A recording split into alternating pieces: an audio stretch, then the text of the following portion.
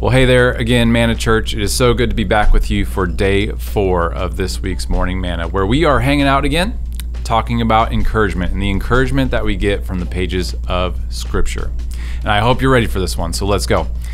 I can remember days or even weeks where it feels like the wind has just left my sails and I have nothing left to give. And that, that's for, for my family, for friends, for work. I mean, you name it. My tank was on empty. And the enemy uses those periods of weaknesses to mess with things in my life. I mean, sometimes it's been super obvious what's happening, and other times it's a little more a little more subtle. Nevertheless, I get to a point where I have to turn to God. Quick sidebar. I think this is one of the things I love. I think one of the things that we all love about David is that he found himself in some pretty serious messes throughout his life. Some of those that he created for himself, some of those mistakes he did on his own, but he always had a way of finding God in the midst of those circumstances and recognizing where his strength comes from. In Psalm chapter 28, verse 7, David wrote, The Lord is my strength and my shield. In him my heart trusts, and I am helped. My heart exults, and with my song I give thanks to him.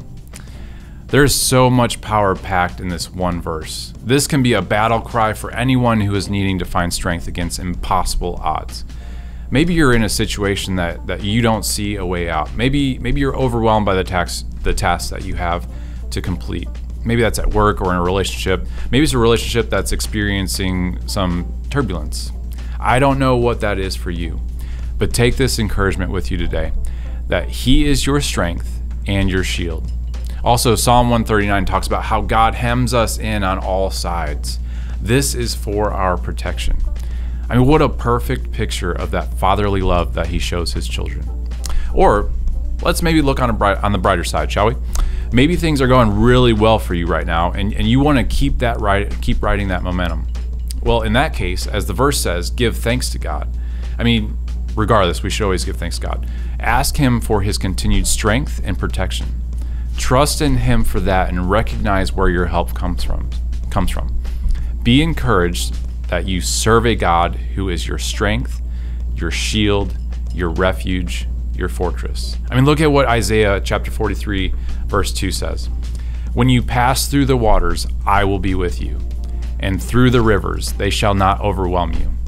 When you walk through the fire, you shall not be burned, and the flame shall not consume you. Man, that gets me pumped up.